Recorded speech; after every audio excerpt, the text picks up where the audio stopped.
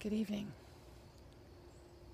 So, uh, it's been a few days since I've been out here, and it's not day anymore, it's nighttime.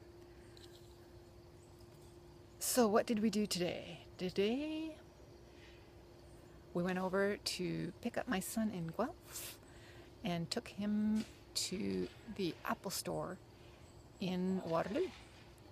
Um, his iPad was malfunctioning so he needed a ride. His girlfriend has gone to Korea.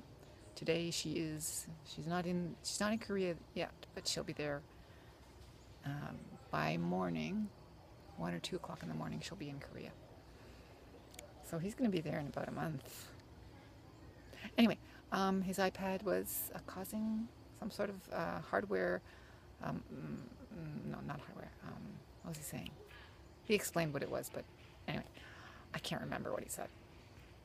Um, he needed to go to the Apple Store, so we took him there. And when it came down to it, he got a new iPad. And then he needed some luggage. So he shopped around the mall there for luggage and we walked and walked and walked back and forth, back and forth, comparing and this and that.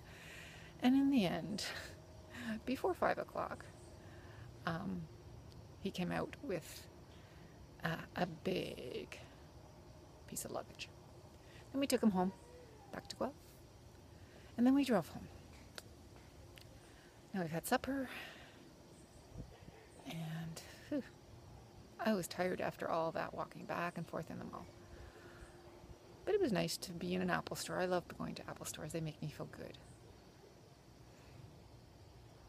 And then I remembered that I have a ocular surgeon um, appointment tomorrow morning at 8.30. So I quick looked up my directions again. I've been there. I know. I've driven there. I've driven there. I've driven there. But when it's a long time between...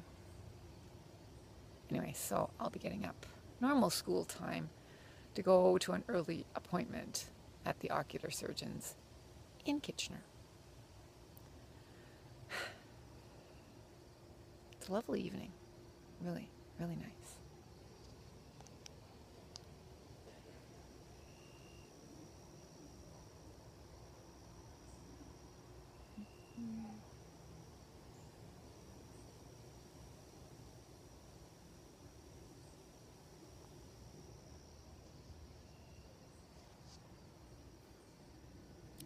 So that's the plan. That was today, and that will be tomorrow. Sunday to Monday. Ta for now.